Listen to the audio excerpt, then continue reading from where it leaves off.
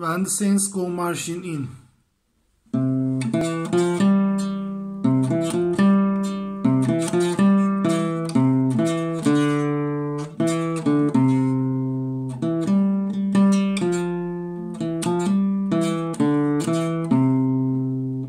Thank you.